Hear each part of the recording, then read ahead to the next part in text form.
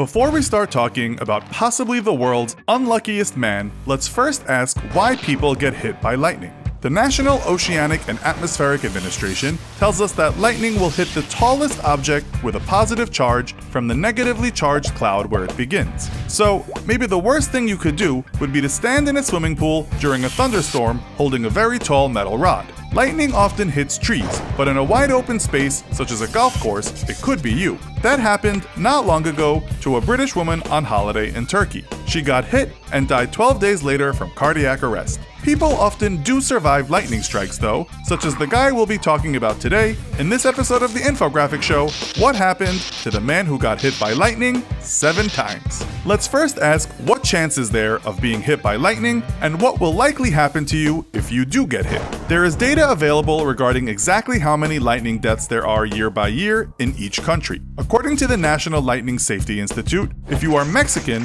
beware. That data tells us that Mexico is way out in front of lightning deaths with 223 last time they did the count. Thailand was second at 171 deaths, South Africa third with 150 deaths, and Brazil fourth with 132 deaths. Then there's a big drop off to Romania in fifth place at 75 deaths. The US is quite high, in ninth place with 50 deaths. Perhaps data wasn't available in many countries, but according to that report, most of the world sees no lightning strike deaths each year, but in most countries, people will be hit.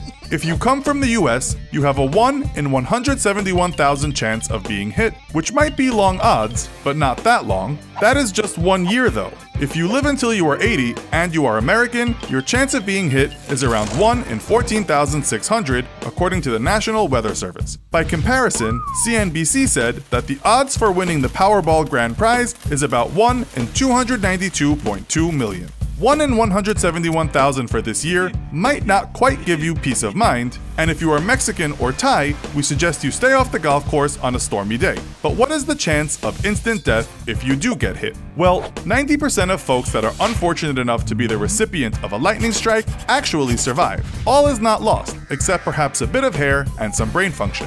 Yes, that's the worst part. Lightning can carry up to 1 billion volts of electricity, and if that smacks you when traveling at an average speed of 200,000 miles per hour, it's bound to have a profound effect under the hood, so to speak.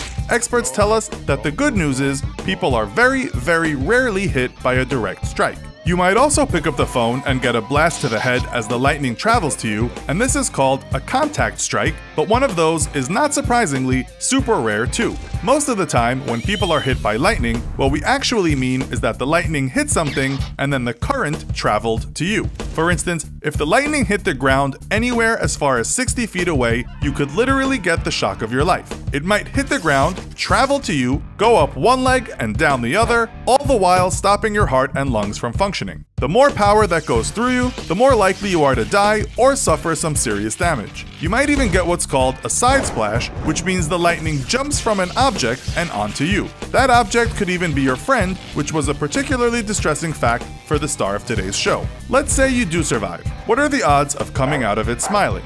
Well, it's likely that the strike will change you. The nerve damage could have an effect on your memory, your personality, or it might give you regular headaches or even epilepsy. One guy who got hit told American media, I know for a fact that people think I'm really weird. He was a changed man. If that isn't bad enough, the strike itself can severely burn you. With all this in mind, how on earth did someone survive seven strikes? His name was Roy Sullivan, and he died in 1983 at the ripe old age of 71. The former US park ranger has a place in the Guinness Book of Records for most hits by lightning. His nickname was the Human Lightning Conductor. When you hear that, it's kind of funny. It's even more amusing that many of his friends stopped hanging out with him outside because of their perceived risk of being hit while near him. The least funny part of the tale is that when he was lying in bed next to his fourth wife, he shot himself in the head. That was the end of old Roy, and his 41 year old wife had to deal with the mess. It seems nature couldn't get this guy, and he got himself in the end. Roy was first hit in 1942 and suffered burns but no brain damage. You see, his job meant working in the Shenandoah National Park in Virginia, and as we know, such places can be dangerous places to be during thunderstorms. It wouldn't be until 1969 that he was hit for a second time, and that time he was driving in his truck. The lightning hit the truck and knocked poor Roy unconscious, but all he suffered were injuries to his vanity. The strike took his hair, eyebrows, and eyelashes. He was hit again a year later, and he just brushed that one off. In 72, he was hit again, and again went the hair. As you can well imagine, by this point, Roy was getting rather paranoid. Let's hope he wasn't taking any of that LSD that was everywhere in those days. He started to think that some kind of powerful force was out to get him, and so he stayed away from crowds just in case he provoked the wrath of this mighty lightning god again and others got hurt. On a more practical level, he started carrying around a can of water, likely a bit ruffled by the fact that he'd been made bald against his will on two occasions. The hippie era had not been very loving for this man, and things were about to get even worse. In 1973, Pink Floyd released The Dark Side of the Moon, which is perhaps where Roy thought he belonged. He was hit by lightning again that year, and this time said that the cloud had definitely been following him. He had tried to get away, but to no avail. He had driven from the cloud and then run from his truck, and boom, it got him. This time he was able to put his burning hair out. He said about the strike, When my ears stopped ringing, I heard something sizzling. It was my hair on fire. The flames were up 6 inches. Roy then had a good run of 3 whole years of not being hit, although he still kept away from clouds. But on June 5, 1976, there was a particularly fast cloud he apparently couldn't escape from, and it got him. I actually saw the lightning shoot out of the cloud this time, and it was coming straight for me, he later said. This time, he had no can of water at hand, and again, he lost most of his hair. He was hit for the last time almost exactly a year later while he was fishing. Yep, there goes the hair again, but he also suffered more severe burns this time and the loss of hearing in one ear.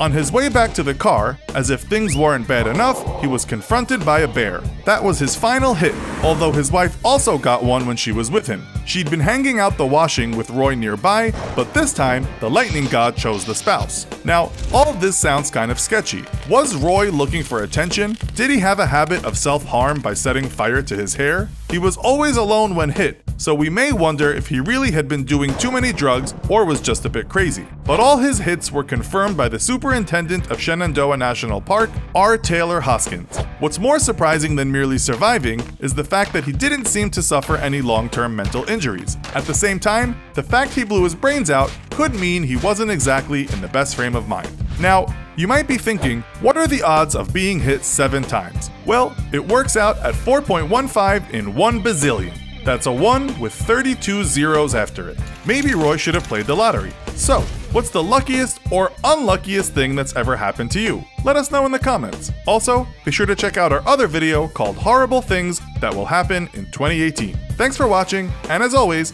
don't forget to like, share, and subscribe. See you next time!